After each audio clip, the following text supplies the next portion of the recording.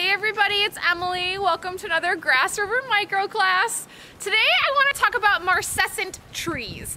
And marcescent might be a new word for many of you, but all it is is the um, characteristic of some plants to hold on to plant material after that material has already died. So today we're going to be talking about how some trees, um, most notably in our region, beeches and oaks, hold on to their leaves throughout the winter after the leaves have already died in the last fall. And this is most common with um, young trees or on the bottom branches of larger trees. And we'll talk about why that is and why marcescence happens to begin with. So marcescence sort of seems to be um, a in-between strategy between being deciduous or losing your leaves and growing them new every year and being evergreen or keeping your leaves year round. Um, and so before we talk about marcescence and why that may be advantageous for some trees in our forests, let's first review the competitive advantages of being deciduous or evergreen. So deciduous trees often exist in highly seasonal um, climates. So places where um, high levels of sunlight and water is not available year round, places like northern Michigan. Um, so deciduous trees, it's actually more advantageous from an energetics perspective for them to grow their leaves new every year than it is to maintain them through the winter when they're not gaining a lot of energy through photosynthesis. Um, but obviously there are evergreen trees up here too, but if you'll notice, all of the evergreen trees are pretty much all of them are conifers. Um, so those leaves are actually needles and needles tend to have a waxy coating and they're sort of in a very rolled up elongated shape and those, both of those things um, serve to minimize water loss. So that's sort conifers are sort of are sort of like a representing an alternative strategy to these these problems of low levels of light and water in the winter. So marcescence. What is the point of that? So scientists don't really know why marcescence occurs, but there are some theories. So we'll talk about four main ones. First one is that the leaves might stay on the tree until right before the tree starts to grow in the early spring, um, so that when the leaves fall, they immediately start acting like a compost. Um, and so nutrients are new nutrients are leaching into the soil from the leaves um, at the very time when the tree needs them most. Or they could be acting like a mulch um, to retain water, again, um, when the tree needs water in the soil the very most. Um, second theory is that the leaves might stay on the tree um, throughout the winter to sort of act like a fence and trap snow um, at the base of the tree so that when the snow melts in the spring, again, there's this influx of water for the tree right when it starts to grow for that season.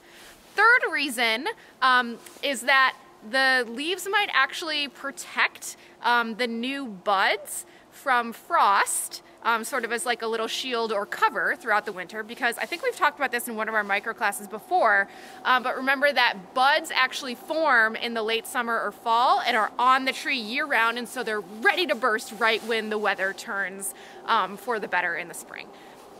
The last major theory um, has to do with browsers. So um, animals like deer um, or in other parts of the country, elk or moose um, that like to go after those succulent buds um, or new twigs in the winter when there isn't a lot of other green stuff to eat. Um, the leaves might sort of deter those browsers from going after the delicate parts of the plant because the leaves don't have really any good nutrition in them. However, I should note that it's not like it's one of these theories versus the other ones. It could be a combination of these um, selective pressures that are creating, um, selecting for this marcescence characteristic. But there's another explanation still. The other possibility is that there isn't a competitive advantage to being marcescent, but perhaps that um, marcescent trees like beeches and oaks actually just represents a sort of transition um, stage between being evergreen and being deciduous. So to understand this, um, it's important to note that um, it's not so. So all plants, all trees, all plants were evergreen um, way a long, long time ago, and then actually as many as 130 independent times being deciduous evolved in different lineages of plants. So it could be that beeches and oaks are just kind of lagging behind everybody else that's already deciduous um, and they're sort of still in that transition period. To support this, beeches and oaks actually are in the same family. They're super closely related, and that family does include several evergreen species, not up here, but further south, things like live oaks and tan oaks.